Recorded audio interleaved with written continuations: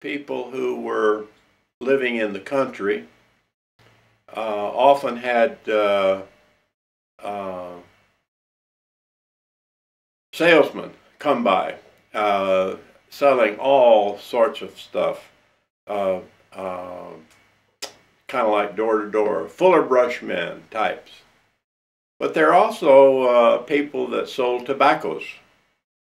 And there was a Garrett snuff salesman that visited uh, the farm one day, and uh, where the uncles got the money, I don't know, but they bought some Garrett snuff. And uh, they seemed to relish it, and they saw the uh, myself and my their youngest brother hanging around, which we were always doing, and uh, they decided to let us partake in the Garrett snuff too. And so they sent uh, Glenn to the house to get a spoon uh, so they could uh, dip the snuff out and uh, uh, help themselves, and then they were going to give us some. Well, they took the handle end of the spoon and they dipped a little bit out. They pulled their lip down and they put that snuff in, and we were observing the whole thing.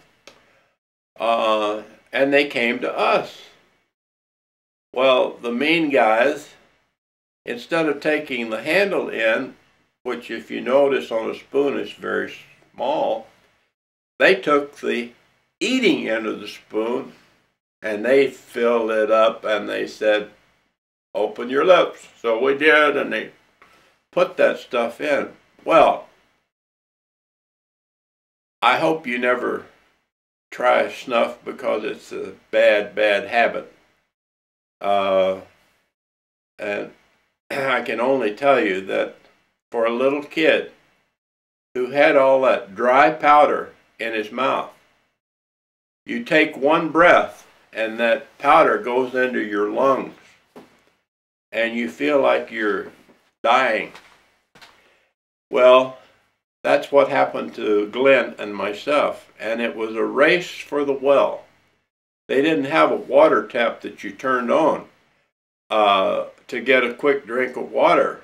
You had to lower a bucket into a well, and this well was probably 40 or 50 feet deep. And after the bucket tips over and finally gets a little bit of water in it, you're hoisting that rope up.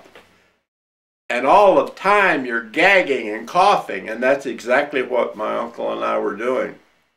Until finally you get that bucket up in that water, and Glenn being the older kid, he got his dip first. I was the last one, and boy, I can tell you, it was miserable.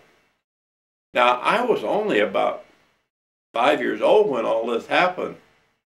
And so that's a memory that uh, uh, sticks in your mind. Well, the only reason I mention this is because, uh, again, people uh, engage in activities that uh, probably wouldn't be doing today. Uh, in fact, I know they wouldn't be doing today.